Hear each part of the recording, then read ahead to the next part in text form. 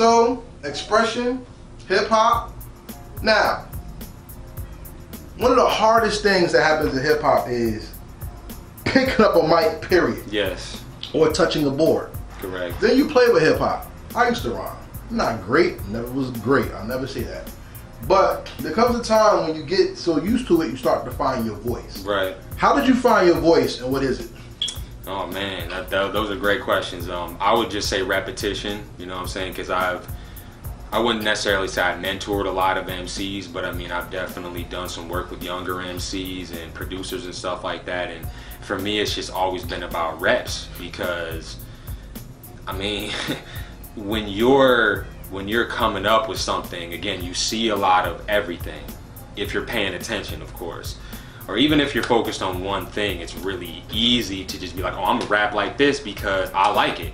You know what I'm saying? But to really find who you are, you gotta get into it. You gotta stumble, you gotta fall. You know what I'm saying? Like you gotta just go through it. So that's that would definitely be my, you know, always like not only advice but how I approached hip hop and being an MC and producer. Just just going through it and um, and then I think uh, my voice is variation. You know what I'm saying? Because every person has variation in their spirit, in their mind, and you know what I'm saying. So I'm not happy every single day.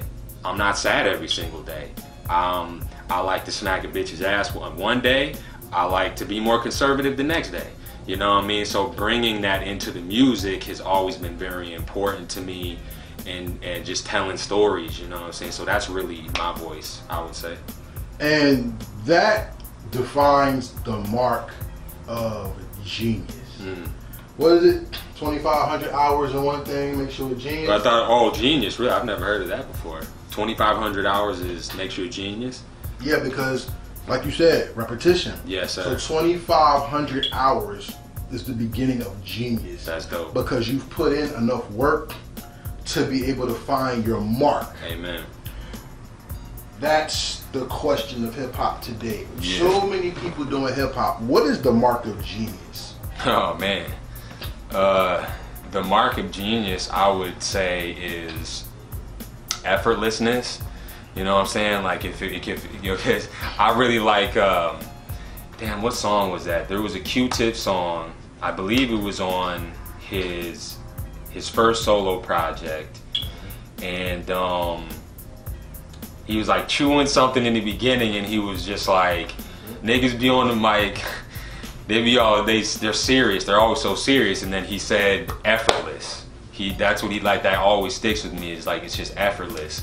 So when you do something for so long, it just becomes an effortless thing. It becomes a part of you. You know what I'm saying? Where you don't really even got to think about it. So um, I think that's definitely the beginning and really transition into ultimate genius is just you live and breathe that shit every single day and you don't even really got to think about it. Like and you and you might be apprehensive about certain things like cuz like I still get apprehensive about live performance but when I do it when I really get into it it just becomes the air I breathe and like I, I get very excited about that interaction you know what I'm saying That's dope because I want to ask you something about that expression part. 'cause That was very key in what you just said. When I think of Chicago, I think about how the jeans lay on top of the, the, the sneakers. mm, I think about the way the hats cut. yeah Then I think about player culture. The Kangols, very Mm. Kangols, and the sweaters. Very twisted, do or die, right? right What is the, the defining look of a Michigan artist? Honestly, there really isn't one. I mean, that I can think of because, again, there was so much time when we were really just trying to find our identity because we weren't into that pimping stuff going on in Chicago.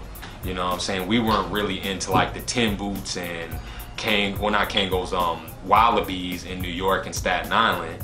You know what I'm saying? Um, we weren't, you know, um, we weren't, uh, we didn't have the same type of cars that they that they had in um, Texas, for instance, or down south. Like there wasn't those pieces of our culture. So I think it's it's a smorgasbord, man. It's just like again, when I grew up, I tried Timberlands, I tried lugs, you know what I'm saying? I tried the, the, the pants that were oversized, the three and four X t-shirts, you know what I'm saying? But I but as always, like I think it's just variation, man. It's just like picking from all those different places and just adding that into the, the fashion, the music, the culture, everything.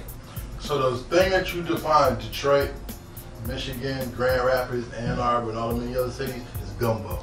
Sure, hundred It's a, percent, it's a pot that's mixed, and you take what you get. hundred percent. And one like one woman said, when it comes to hip hop, if you want the cookie, you got to take all the crumbs. Right, right. So when it came to Detroit, when it comes to New, New Jersey, when it comes to hip hop, you want to listen to one, you're kind of gonna have to listen to everything. Sure. Because there's not one defining sound. But what is the most defining moment in Michigan hip hop? Oh man, defining moment. Damn. I think it was.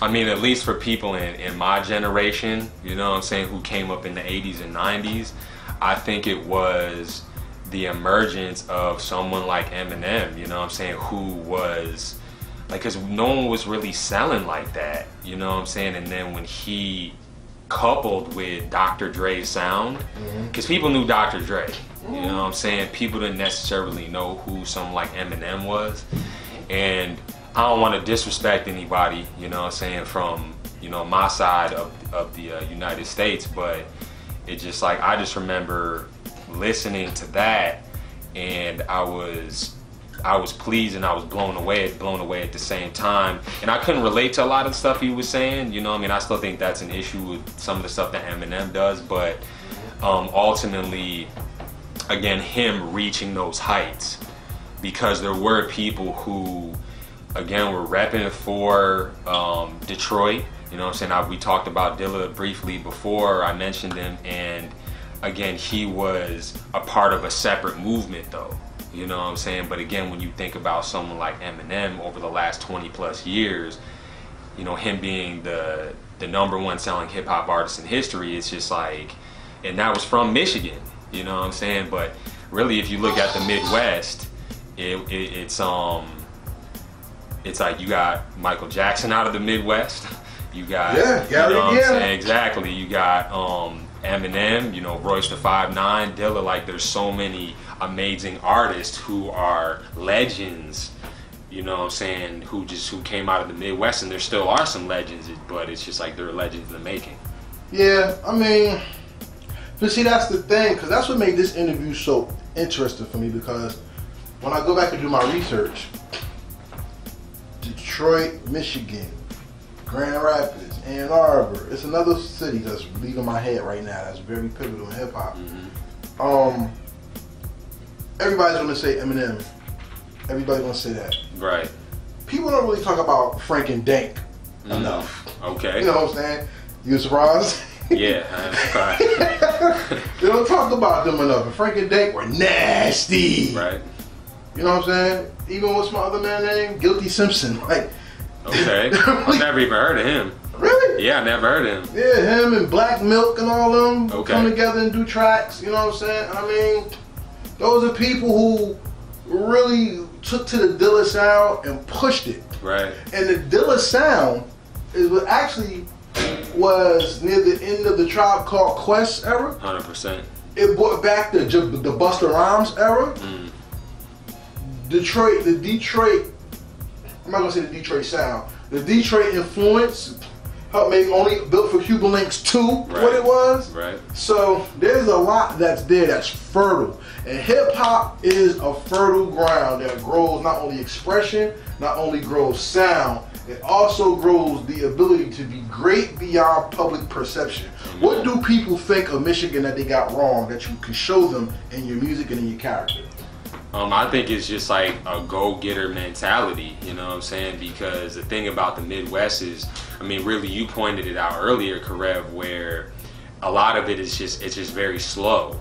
You know what I'm saying? It's just like people kind of like to chill up there, and I've made the joke in the past that um, Michigan or a lot of places in Michigan, really, it's like um, it's like a glorified retirement home. You know what I'm saying? Where you know what I'm saying like people will go up there to raise a family because like some of the some of the some of the best schooling, um, golf courses, colleges, uh, soil, you know, art, like all of that shit comes from Michigan.